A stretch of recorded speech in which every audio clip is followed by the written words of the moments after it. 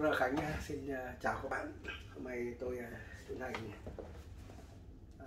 bọc tem hộp xì gà mới của Cuba. Đây là hộp xì gà Patagat của Cuba. Đây là hộp Patagat D4 10 điếu. Nó có chữ nọ D4 10 điếu. Đây, đây là cái hộp mà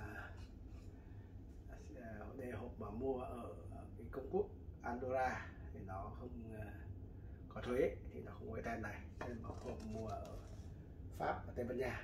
Thì nó ở đây có một cái tem gọi là Mata. Không ra. Đây. đây là hai hai hộp mà mua hai nơi khác nhau. Thì hôm nay tôi sẽ bọc tem hộp à, ở, ở mua Andorra.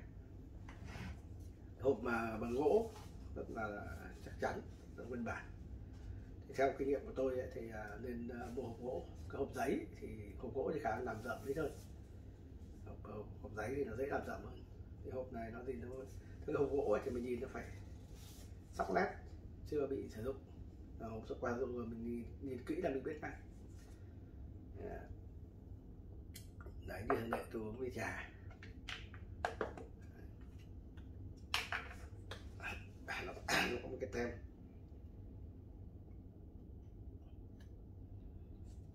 đây một cái, một cái tem mà tem này không bóc ra được tem này phải sẽ phải rạch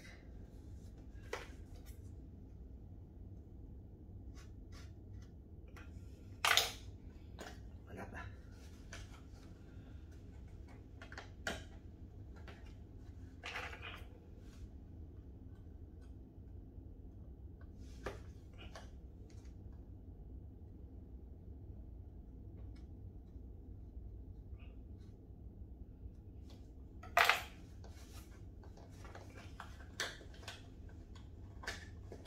Đấy. hai ba nốt đỏ một cái hãng ờ, uh, Panagat này là một cái hãng có tên tuổi. Ờ, à, nó xếp hàng trong hàng những những điều xì gà hàng đầu của Havanos Cuba. Này các bạn nhìn nó rất đẹp. Cái điều xì gà rất đẹp rất là thơm tắt. Ờ, Mùi rất nhẹ nhàng. Đây là một cái loại mà hiện nay được đánh giá bán rất chạy ở thị trường Việt Nam. Và đánh giá rất là tốt về cả cái độ kích cỡ size rồi là cái kiểu dáng màu lá rất là mạnh mẽ. À, rồi chúng ta hộp 10 điếu. Rất đẹp. Đây một cái điều á cái điều rất là đẹp. Đấy, cái cái size này nó rất vừa phải. Thì cái này nó vòng đo 50 à, ring 50 chiều dài nó khoảng độ 10, 10, 12,5 cm Đấy, khoảng 13 cm Đấy, trong khoảng này. Thì cái điếu này hút thì nó rất là vừa. Trong một thời gian uh, nhất định của nó. Thời gian này chúng ta có thể hút được 90 phút. Tùy theo cái điều kiện. Đây là một cái điếu uh, nhìn mô lá rất là ok rất cân bằng rất là đẹp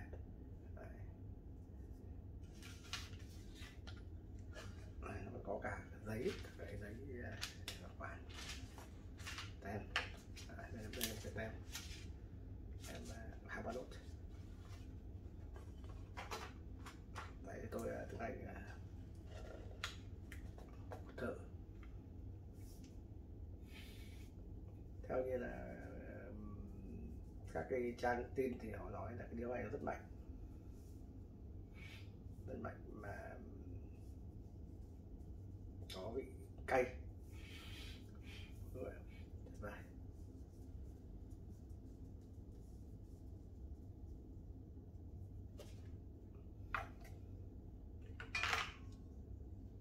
điều này đục được mà cắt được Đây, cắt điều này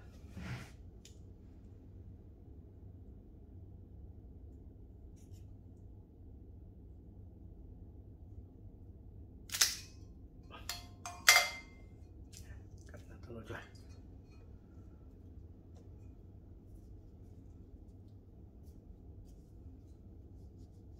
Gato hốt và đây là một cái, cái, gà tàn xì gà rất là nổi tiếng của châu. Gà đặc biệt bằng đồng cổ ngày xưa họ dùng bằng đồng bây giờ họ dùng bằng sứ rất nhiều. Đấy nhưng mà đây là một cái, cái, cái gà của này mấy người mới mua thì ờ, ờ, là là là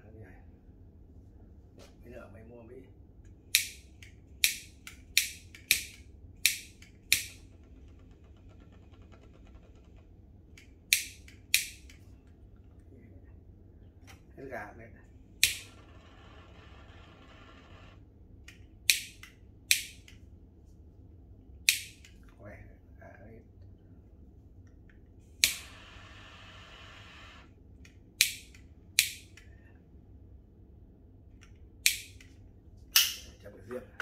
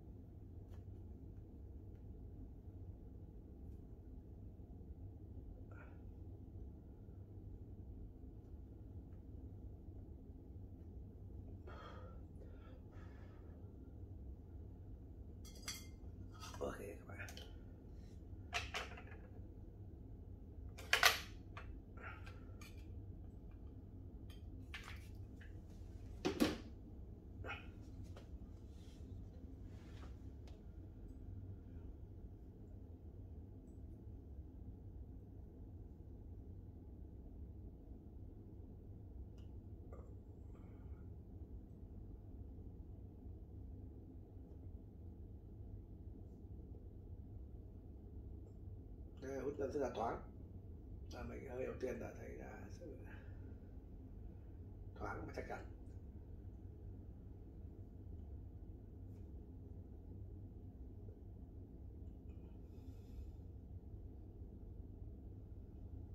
Đặc biệt cái điều gì này nó có cái chữ sri nó no muốn đề muốn. Đấy đặc biệt cái gì gà nó có cả cái cái, cái, cái tên trong đấy luôn. Nên là cái tàn nó rất ok.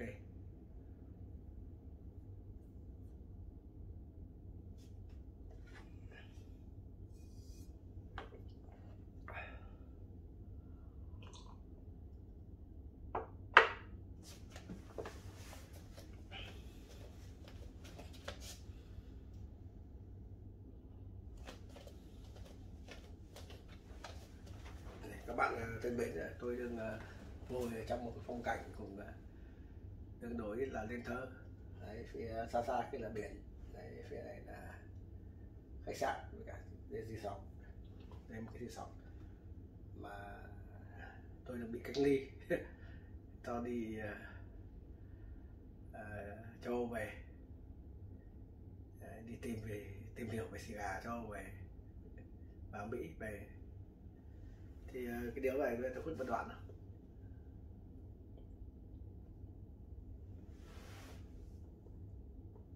cho nó hơi khô một chút vì ờ, do mình ờ, chưa ủ được kỹ. Và ừ, về cái điếu xì gà này tôi nhận xét rất là ok. Thì vì thiệp này bây giờ đây là một sự thay thế cho xì gà Cui 3 ví dụ xích 4 chẳng hạn số 6 thì tất nhiên là chúng ta không thể đọc được. Nhưng mà với thời điểm bây giờ thì hầu như các loại xì gà Cuba mà uh, ví dụ như xì gà Cuba ví dụ như là Signo 5, Signo 6 hoặc là BK 52, 54, 56 thì rất là hiếm. Uh, không hầu như không có thị trường chỉ còn tồn hàng thôi. Đấy, đây là cái điều mà tôi nói là tôi mua ở công Quốc Andorra thì cái chỗ này là họ quên thuế. Mà tôi đi vào ba cửa hàng lớn nhất ở, ở Andorra thì đều chỉ còn một số D1 này thôi. Chứng tỏ là đã rất là hiếm. Đấy đây là chưa nói đến hỏi cô ba thì đều tác đầu hết tất cả cả cô ba cũng tác đầu.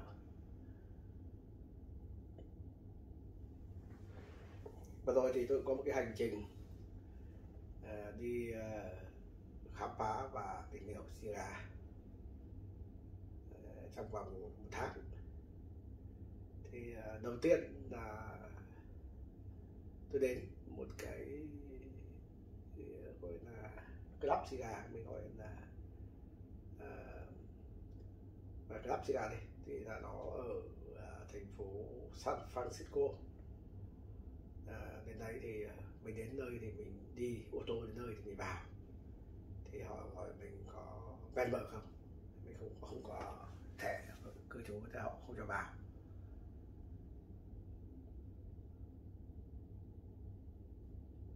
Lại nói chuyện câu chuyện ở Siga mỹ thì là hút Siga mỹ rất là khó phải có chỗ hút riêng. Ta không thể vào các quán cà phê hay là quán ăn mà ta hút được. Ở đấy thì họ không không cho hút thì có chỗ hút riêng hoặc anh ra ngoài về hút rồi còn bình thường ở đấy cũng rất khó. Thì à, tôi tiếp tục hành trình à, từ uh, San Phan đi Seattle thì cũng vào một cửa hàng gà Seattle. Thì ở Mỹ thì họ không không bán gà Cuba. Không có một điếu gà Cuba nào cả. Chỉ có gà lon Cuba gọi là gà Trung Mỹ đấy thì mấy nước đấy thì họ rất nhiều loại. Thì bên đấy thì có những cái cửa hàng xì gà mà cực kỳ lớn. Thì tôi quay lại cái cửa hàng gọi là Olet gà ở Las Vegas mà cái, cái, cái ông chủ hàng đấy thì ông ấy tôi biết ông ấy lâu rồi. Hai anh biết nhau lâu gặp nhau là hồ hởi tay bắt bằng bừng. Và mình ngồi hút điếu xì gà ở trong cái cái cái vừa cửa hàng và chỗ hút của ông ấy. Cũng thấy rất là hạnh phúc. Ở trước đây ở, ở Nam Gạt thì một số sòng bài họ cho hút thuốc nhưng mà gần đây thì họ hạn chế rồi. Thì vẫn có một số chỗ hút thuốc được. Đây là cái hút xì gà. Thì à, tôi lại tiếp tục chạy đi đi Đà, Đà, Đà Lạt. Thì cũng vào một cái phòng hút xì gà ở, ở, ở ngoại ô Đà Lạt. Thì à, cũng mua mấy điếu mà thấy họ hút. Nhưng mà mình không thời gian thì mình đi luôn thì đấy là cái hành trình xì gà Mỹ. Mà tôi ờ, đi cũng qua một số cửa hàng, thì cũng mua được một số điếp nó mới lạ, hấp dẫn.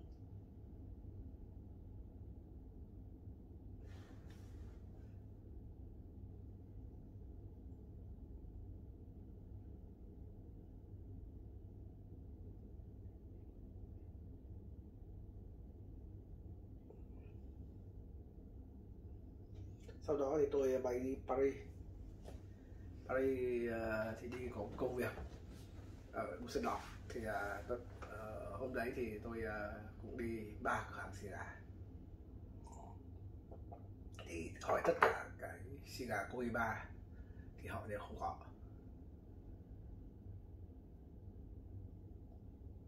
họ chỉ có một ít uh, xì gà mông uh, Robo Juliet hoặc là mông mông tê crypto thôi. Cái xì gà khác thì học thì không có. Thì buổi chiều thì tôi chiều tối thì tôi đến một cái vừa bán vừa vừa vừa giới thiệu vừa hút với club xì gà rất đặc biệt ở trong Sơn đỏ. Thì uh, mình uh, vào thăm cái cửa hàng của rất là lớn. Thì mình xong mình vào mình có một cái, cái chỗ hút nó có thể hút khoảng tầm ba mươi người nữa ba nó được hai cái bàn rất là rộng. Thì tôi ngồi ở đấy hút một điếu xì gà đứng miệng ở một câu bộ xì gà. Ở đức ở đức là xì gà họ hút rất chuyên nghiệp. Nói chung là tôi đánh giá ở đức thì chắc là xì gà đã hút nhất cho so với cả các nước khác.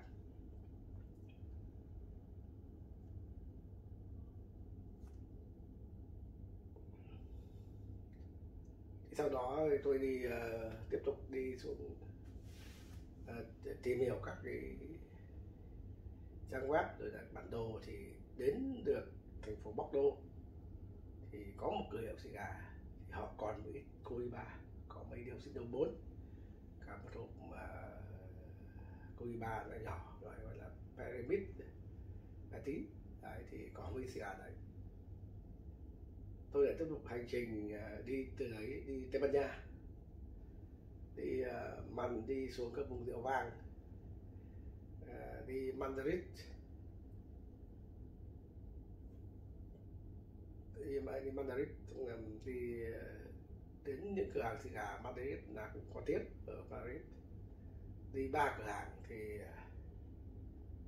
ờ, hỏi đều không có cô y ba cái cửa hàng mà cũng, cũng tương đối là lớn thì mua được uh, cái hộp uh, D4 này. Các bạn cũng sắp hết rồi của những cái chị gà đi ờ, D4 này của Paragraph là rất là hiếm.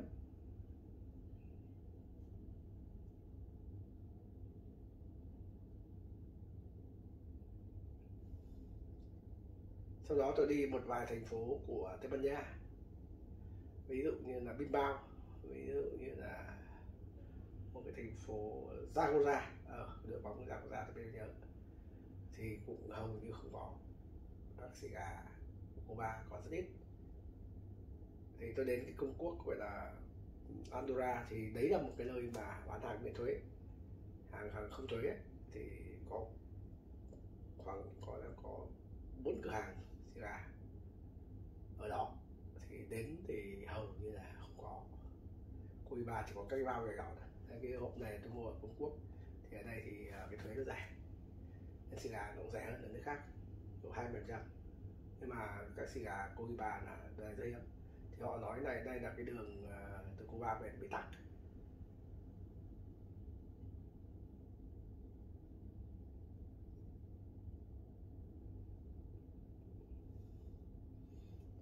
Thì tôi tiếp tục uh, đi về uh, miền Nam nước Pháp.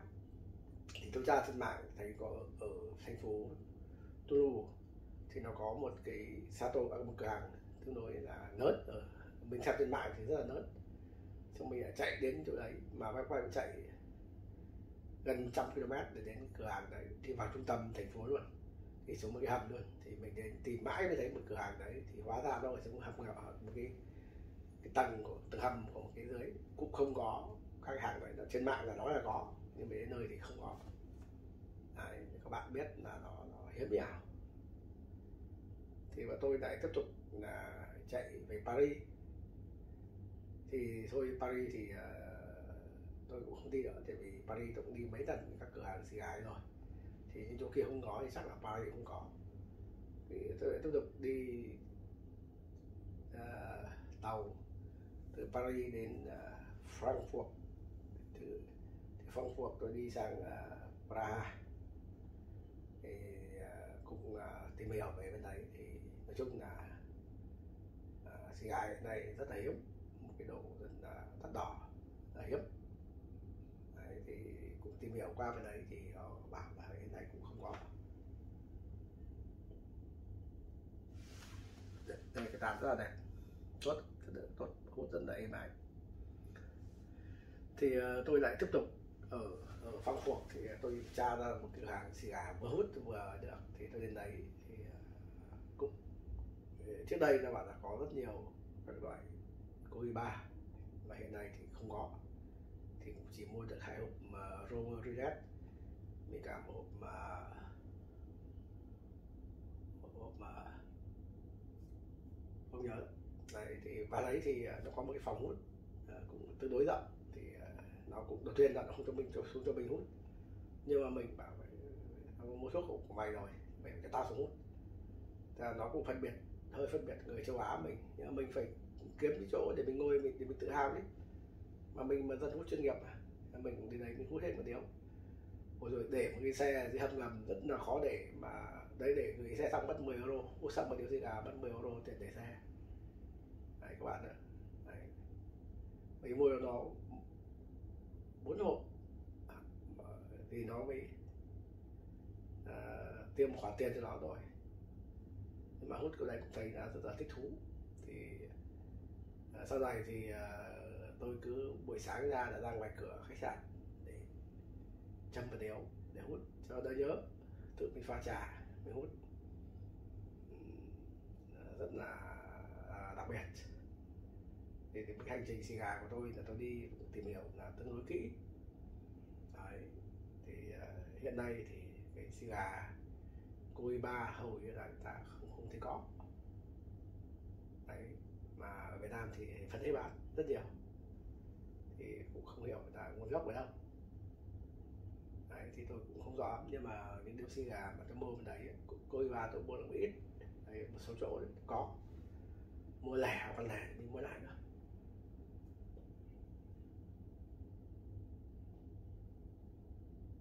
Nếu mà thì vừa uh, tâm sự của bạn vừa uh, bọc tem cái hộp xì gà uh, Paragat Paragat thì tôi ít ít hút lắm. Thì ngày xưa có hút một vài dăm bảy lần rồi. Này này hút thì ngày xưa thì tôi hay hút hàng mua cả hàng trung mỹ à, ờ, bây giờ thì mình cũng hút đa dạng hơn. Đấy điều này thì nó mình chậm hơi lệch một tí.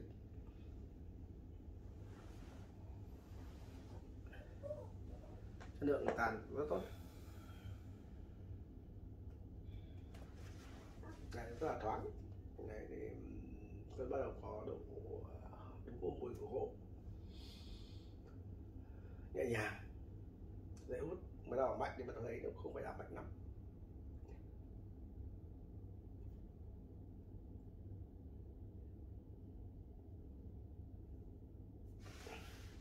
Hôm nay tôi uống ờ, với cả trà ờ, trà đen. The tí mà tôi sản xuất của cái cà đen này mình pha loãng cũng rất hợp. Là chất phụ trợ. Đấy, giữa một cái không gian như này mà hút một điếu xì gà để à, chia sẻ với các bạn về cái xì gà về con đường xì gà. Tôi cũng có thể là tôi cũng rất tự hào.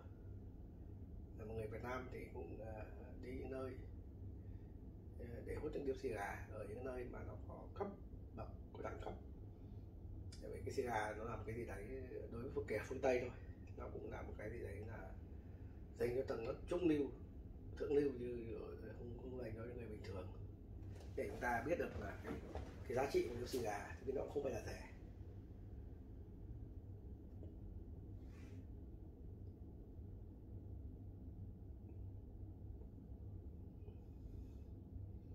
Khói rất mượt rất êm ái. Đây cái này đúng là người ta rất thích cái loại này rất là chạy, mà cũng hết rồi. Cũng không còn nữa. Đấy, tôi nói là đi các cửa hàng lớn hiện nay ở đây thì họ chỉ còn năm mười hộp. Đấy rồi. Đấy.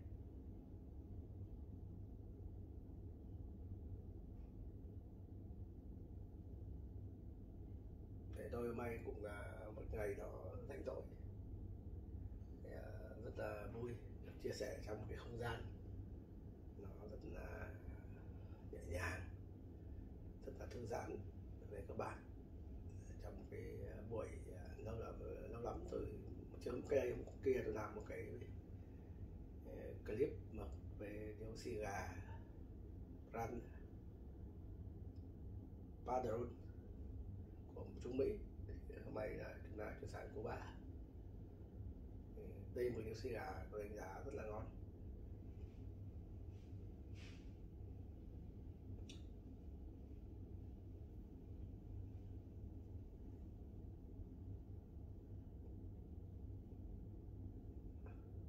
Đấy, xin uh, chào các bạn. Chúc các bạn một uh, tuần làm việc vui vẻ.